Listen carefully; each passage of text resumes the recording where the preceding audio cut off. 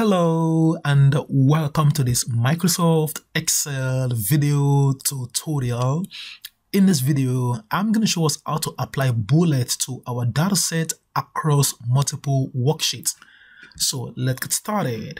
Now, looking at our sample dataset, we can see we have sales for 2015 to 2020 report.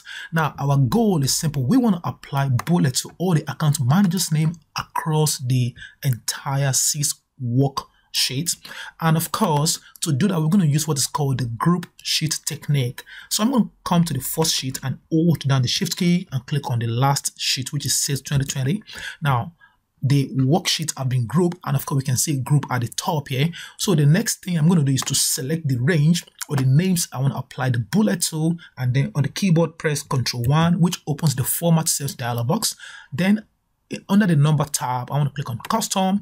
Now, under the custom, uh, I need to clear this um, general, delete that. So I'm going to hold down the Alt key and press 7 and this shows the bullet here, okay? You can even press um, Alt key 5. It shows different types of bullets you can apply, okay? This is Alt key 4. Now let's go with this Alt key 4. I'm going to put in a space and then deploy the add symbol. Now, automatically when I do that, I can see the bullet to the left and then the account manager's name, the top one. So just click OK and then we can see the bullet applied, okay? Now let me just expand this. Okay, so we can see the bullet, that's nice.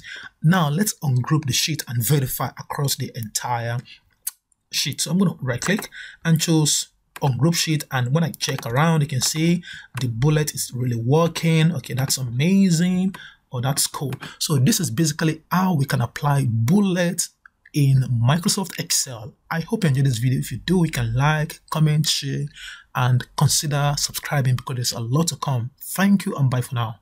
Cheers.